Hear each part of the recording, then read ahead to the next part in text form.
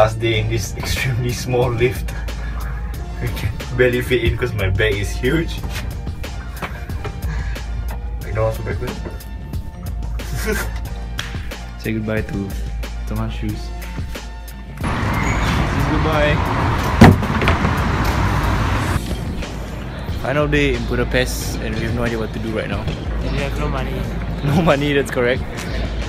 So how is surviving on uh, how much you have? 800 And I have thousand is four. 2 3 euros. Not much lah. Enough to get to the airport.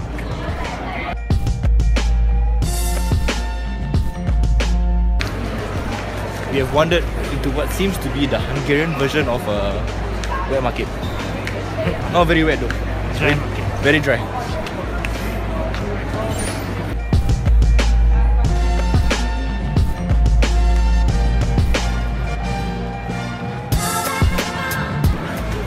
Now it seems that we have stepped into a Hungarian kopitiam.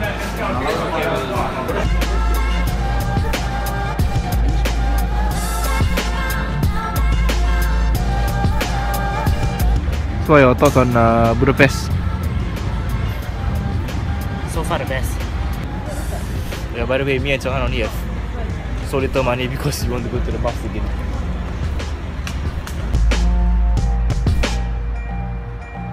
We just add that these things make walking around here a lot easier.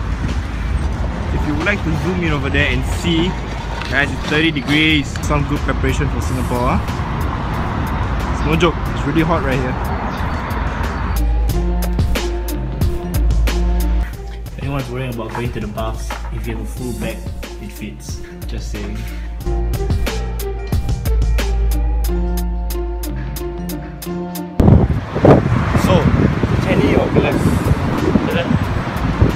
Gellért. Cheney is more like the. Cheney is Miami. Gellért is like. Venice. Okay, step ah, never go before. Ready to go? Can't believe I made such a rookie mistake. I forgot to empty my water bottle.